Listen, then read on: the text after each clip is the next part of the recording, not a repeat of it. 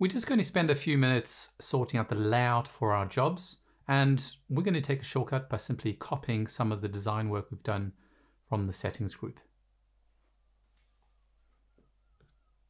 Okay, so on the company page, make sure that you can see group settings. Remember to be utilizing your elements tree where possible. I'm going to right click on group settings. I'm going to say copy. And I'm just going to click into the group container because that's where I want it to be pasted into. I'm going to choose Command V on my Mac. And you can see it's made a copy directly beneath it. But in the elements tree, I'm going to use this little eye icon to hide the original group settings. And then I'm just going to use this label here to change it to group jobs. Let's refactor this a bit. This now becomes job posts.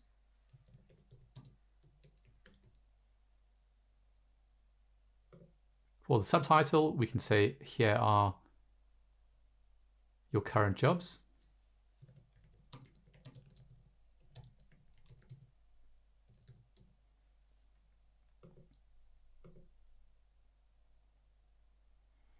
On the conditionals tab, we need to change get from page URL as settings to job posts.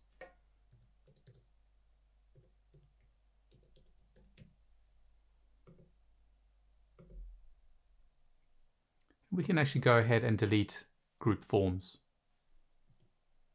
You can see that this is closed right down now. For here are your current jobs, what I'm going to do is on the layout tab, I'm just going to say fit width to content and just little technique to be able to click easily within my group header. On the left-hand side, you can see that we have our group jobs, group header, and then our text elements. We need a button on the right-hand side for Hannah to be able to create a job. So grab a button, I'm just going to drop it inside the header. Anywhere in the header will do. This will say new job. This will be our primary action. I'm going to remove the fixed width, remove the min width, and make sure that I've got fixed height of 44. And I'm going to fit width to content. We want this new job button to be positioned to the right of job posts. So with job posts highlighted, you can see that this element has expanded to fill all of the available space. And that will actually push this button all the way to the right-hand side when we group them, both of these elements in a row container. So I'm going to highlight holding down Shift Group Job Posts with the new Job button, right-click Group Elements in a row container, and you can see that this button is now positioned nicely.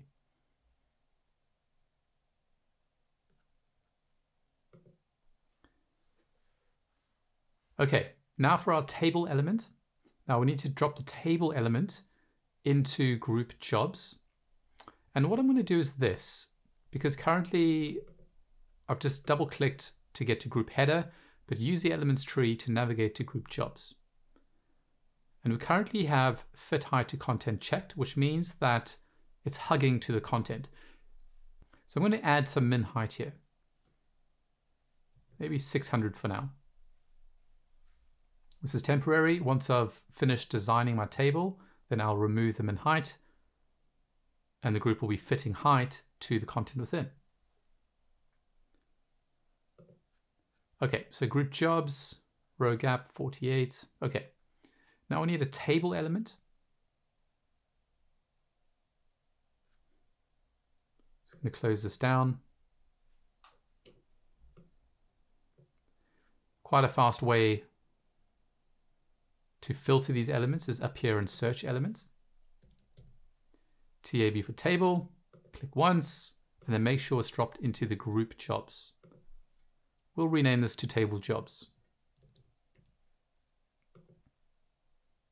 This will span edge to edge, so no fixed width and no min width. Min height, we'll have an arbitrary number here. That's just so we can display some height, but that's okay. Click back in the appearance tab. So now it's asking for a type of content and we don't actually have a type of content for jobs. So that is something we're going to create in the next lesson. But for now, let's just carry on getting some basic design work done. On the Appearance tab for table jobs, I'm going to change these vertical separators to my border color. And I'm actually going to also change the horizontal separators to the border color as well, just so it's nice and consistent. Then we're going to add a border style. Border color with a roundness of 8.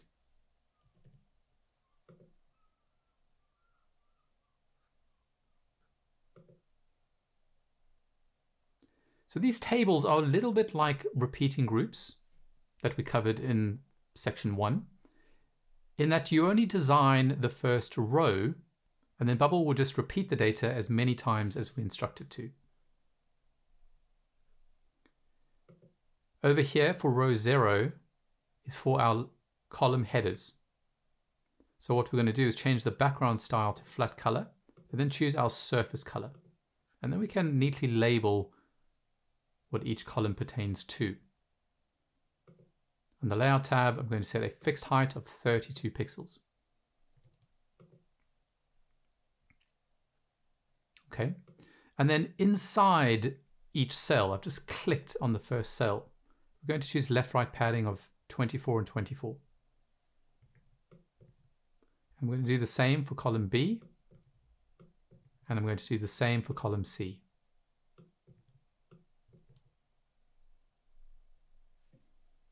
Once you've done that, click back on row 1 repeating. We're going to set a fixed height of 64. So fairly spacious, but easier to read this data. There'll be no background style. I'm going to set the row count to 7. And you can see that the group has basically increased in height. Last thing we'll do before the break is just add some left-right padding of 24 and 24 in all three cells.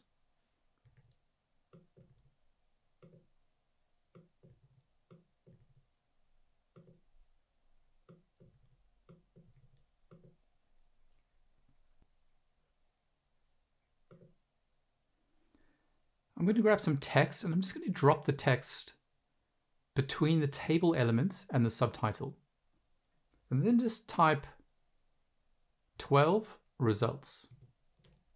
And this is just placeholder text. So when we do come to filter results, this will be dynamic. It will say one result found, two results, three results. On the layout tab, I'm going to remove the min height and the min width. Something else we need is a way to be able to filter this table jobs. So for that, I'm going to use an input. There's the input there and I'm going to drop the input between the 12 results and the subtitle. We'll call this input filter. And on the layout tab, I'm going to just let that stretch edge to edge. That's absolutely fine. I'm going to remove the min width and set the height to 44. Okay, so we need to be slightly better at spacing here. Let's change the row gap from 48 to 32 okay? And then let's grab the table element. Notice where my mouse is hovering on the top left-hand corner. That's how we select the table, okay? You can also select it through your elements tree.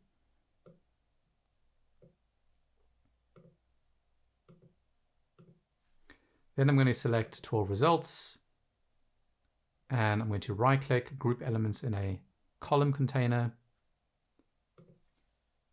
This is going to be group table. And I'm going to add some gap of 20. And that spacing looks really nice actually.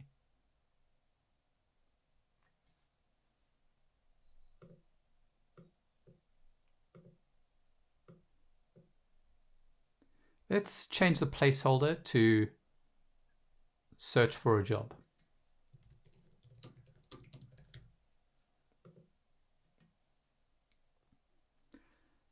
And I think we've laid the foundation here to be able to then create our new data type in the next session and start creating data. I'll see you in the next one.